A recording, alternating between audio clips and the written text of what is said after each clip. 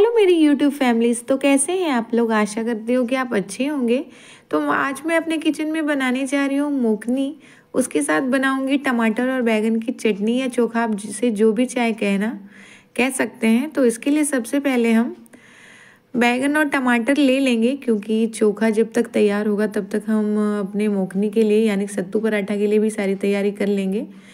तो बैंगन को मैंने ले लिया और उसमें बीच से चीरा लगा दिया है, क्योंकि चीरा लगाने से अच्छे से पकता है बैंगन और ये भी पता चलता है कि अंदर में कीड़ा वगैरह तो नहीं है और उसमें ना जितनी हरी मिर्च आप चाहें मतलब जिस अनुसार आप तीखा खाते हो, मैंने दो ही छोटी छोटी हरी मिर्च डाली है और पाँच छः लहसुन की कलियाँ डाली हैं उसके अंदर ताकि वो अच्छे से पक जाए। और चार टमाटर भी ले लिया है, आप क्वांटिटी अपने हिसाब से ले लें। मैं तवे पे पका रही हूँ तो जो हम लेंगे ना बैंगन और टमाटर, उसको अच्छे से धो लेंगे, उसके बाद ही कट करेंगे। और उसके बाद उसमें तेल है ना, सरसों का तेल लगा के तवे पे डालेंगे। तो ऐसा करने से ना बहुत अच्छे से पक के तैयार होता है, और इसके जो छिलके हैं ना, वो मतलब बहुत आसानी से उतर जाते हैं, और इसको कोई बड़े बर्तन से, जिससे ये एकदम अच्छे से फुल कवर हो जाए, उससे कवर कर देंगे, और उसके बाद रख देंगे उसको लो फ्लेम पे। और इधर तब तक हम अपने सत्तू की ना तैयारी कर लेंगे, यानी कि मुखनी।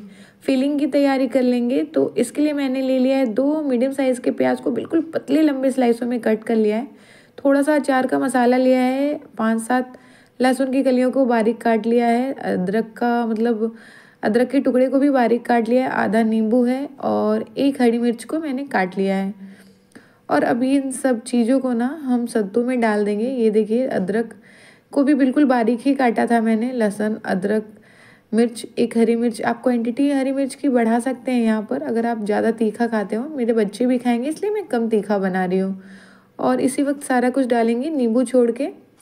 और इधर हमारा देखिए, इस बीच में ना, हम इसको भी देखते रहेंगे अपने चोखे को, यानी कि बनने वाले चोखे को, बैंगन और टमाटर को देखते रहेंगे, ताकि वो एक साइड से ज़्यादा जल ना जाए।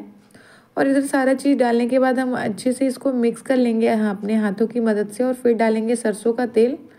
और स्वाद अनुसार नमक, अगर आप आटे में भी नमक डालना चाहते हो तो आप इस वक्त उस तरह से नमक डालें ताकि आटे के साथ वो एडजस्ट हो। अगर आटा में नहीं डालना है तो आप इस वक्त फुल नमक डाल सकते हैं। और जो आधा नींबू हमने रखा था ना, वो नींबू और उसके बाद अच्छे से हाथों से मिक्स करते हुए उसके बाद उसको पानी से हल्का हल्का कर लेंगे। जब हाथ में मुठला बनने लगे ना मतलब हाथों से जब हम ऐसे प्रेस करें और वो मुठला सा बनने लगे उसके बाद वो हो गया हमारा मान लो फिलिंग तैयार हो गई। इधर इसको भी देख लेंगे इधर देखिए हमारा जो बैगन टमाटर है ना वो पक चुका है और बहुत गर्म है इसलिए उसको मैंने बर, एक बर्तन में ट्रांसफ़र कर दिया और तब तक इधर ले लेंगे हम आटा।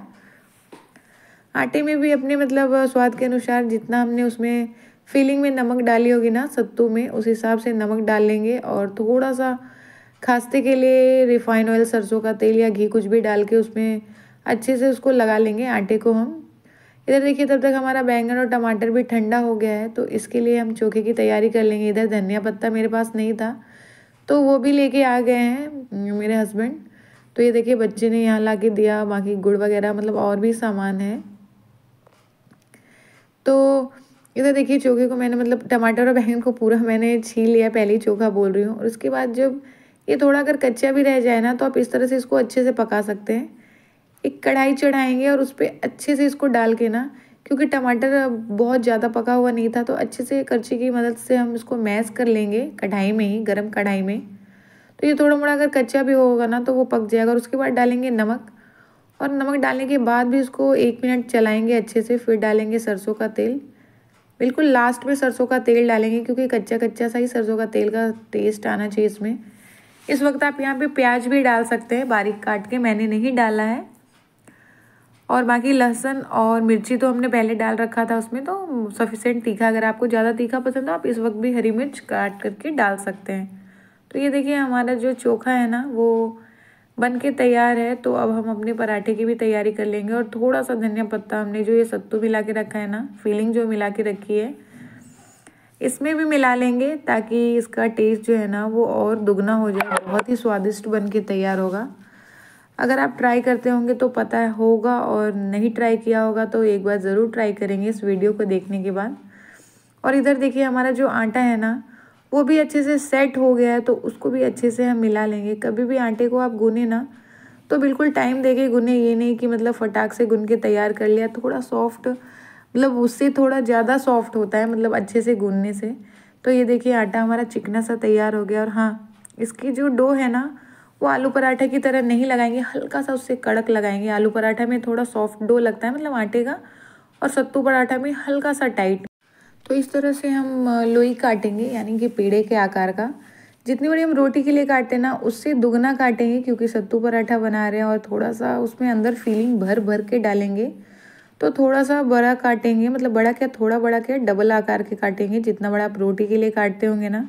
मैं तो छोटी रोटी बनाती हूँ, उस हिसाब से मैंने दो रोटी का लोई काटा, अगर आप बड़ी रोटी बनाते होंगे तो डेढ़ गुना काटे। और अंगूठे की मदद से जैसे हम कटोरा बनाते हैं ना, हमेशा उसी तरह कटोरा बना के उसमें अच्छे से फीलिंग जितना आप भरना चाहते हो, उतना भर लें और उसके बाद उस तरह से उसके आगे के मुँह को मिलाते हुए बिल्कुल अच्छे से पैक करें और इस तरह से हम हल्के हाथों से उसको बेलेंगे। नॉर्मल रोटी से इसकी जो मतलब मोटाई होगी ना वो थोड़ी ज़्यादा होगी, क्योंकि बिल्कुल पतला इसको नहीं बनाएँगे, वरना ये थोड़ा सा कड़क बन जाएगा तो अच्छे से फीलिंग जब ज़्यादा भरेंगे तो थोड़ा मोटा मोटा ही बनाएँगे। और इस तरह से डालेंगे हम इसको तवे पे, और जब एक साइड पक जाएगा ना तो उसको पलटते हुए उस पर अच्छे से सरसों का तेल लगाएँगे, सरसों का सरसों का तेल इसलिए बोल रही हूँ ना, क्योंकि सरसों का तेल का स्वाद इसमें ना बहुत अच्छा आता है टेस्ट बहुत अच्छा आता है। आप घी या रिफाइन लगाएँगे ना तो टेस्ट उतना अच्छा नहीं आएगा। और हाँ इसी तरह अलटते पलटते हुए दोनों साइड जब एक साइड पक जाए तो दूसरी साइड आप तेल लगा लें और अलटते पलटते हुए इसको अच्छे से पकाएँ। ये जो है ना रेड रेड डॉट डॉट ये दोनों साइड से बहुत अच्छे से जब आ जाए तो आप इसको बिल्कुल इस टाइम ना, लेकिन हाई फ्लेम पे करें, बिल्कुल इसको लो फ्लेम पे ना पकाएँ। वरना ये कड़क हो जाएगा, चिमर जिसको कहते हैं ना खिंचा खिंचा सा वो हो जाएगा। तो आप स्टार्ट में थोड़ा लो फ्लेम रखें और उसके बाद हाई फ्लेम पे ही इसको पकाएँ। तेल वगैरह जो है ना हाई फ्लेम पे ही इसको इसमें लगाएँ। और ये देखिए, इसी तरह से मैंने फटाफट बना के सारे पराठे तैयार किए थे। और हाँ फ्रेंड्स आपको अगर मेरी ये वीडियो अच्छी लगे तो ज़्यादा से ज़्यादा शेयर करना लाइक करना कमेंट करना। और मेरे चैनल पर नए आए तो चैनल को सब्सक्राइब कर लेना बेल आइकन पे क्लिक कर लेना। ताकि आने वाली वीडियो की नोटिफिकेशन आप तक पहुँच सके।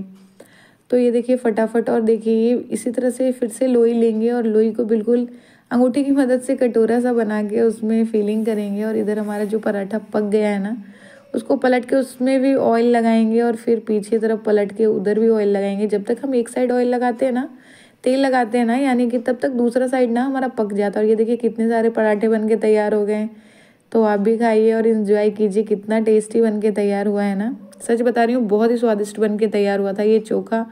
और ये मोकनी जिसे कहते हैं, मेरे ससुर जी इसको मोकनी ही कहते हैं। मेरे ससुराल में बहुत लोग इसको मोकनी कहते हैं। तो बहुत ही स्वादिष्ट बन के तैयार हुई थी। बच्चों ने भी बहुत इन्जॉय किया, क्योंकि मिर्ची तो मैं डालती नहीं हूँ। ये देखिए, सब फटाफट बैठ के खा रहे हैं। गर्मा गर्म तो मिलते हैं आपसे नेक्स्ट वीडियो में एक नई रेसिपी के साथ। तब तक के लिए बाय बाय टेक केयर